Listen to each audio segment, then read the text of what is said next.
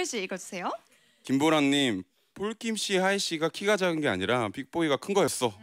맞아요. 어, 사실입니다. 맞아요. 오. 네, 맞아요. 어, 제가 정확하게 키가 어떻게? 저는 188이요. 제 생각에 진짜 크시구나. 지금 작은 척하는 것 같아요. 90 90 아니세요? 90 넘는 것 어, 근데 같은데. 진짜 80 줄여요. 넘어가시는 분들은 줄이시더라고요. 어. 전 87까지도 줄일 때도 있고요. 사실 80 거짓말 안 한다면서요? 아, 아 죄송합니다. 아 이거 딱 걸렸어. 아 왜냐면 아, 잘한다. 아 너무 정말 잘한다. 떨려요 이게 그래서 네, 떨려서 거짓말 하셨다고요? 키, 키 물어볼 때마다 너무 떨리기 때문에 아. 그럼 어떻게 오늘은 188인 거예요, 어쨌든? 어, 오늘은 188 할게요. 알겠습니다. 정리. 근데 이상해 보이진 않죠, 막 188인데 뭐 아니요, 전혀 그렇지. 그것 때문에 사실. 왜요? 이게 188인데 그러니까 너무 커서? 네, 아, 되게 너무- 키 너무 큰 거를 좀 창피하더라고요. 왜요? 이게 키가 큰 크신 분들이 만약 에 계시면 공감을 하실 거예요. 눈에 잘 띄어서요. 죄송하네요. 공감을 전혀 할 수가. 아 죄송합니다.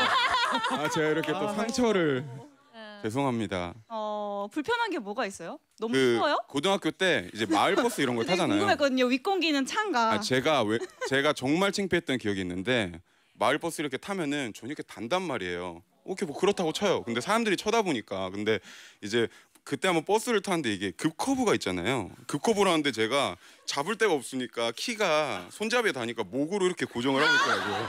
근데 그걸 보고 사람들이 웃었어요, 되게. 그냥 급커브 하는데 사- 이걸 잡아야 되는데 저는 잡을 수가 없잖아요. 그래서 머리를 이렇게 고정하는데 이러고 그래서 사람들이 그걸 보고 웃고 나한테 이거 상처다.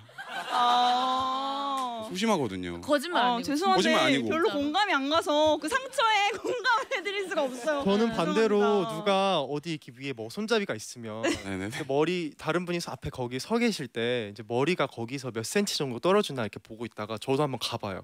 아. 나도 나도 그만큼 떨어져 있. 어... 왜 슬퍼하시죠? 저는 나요. 괜찮은데.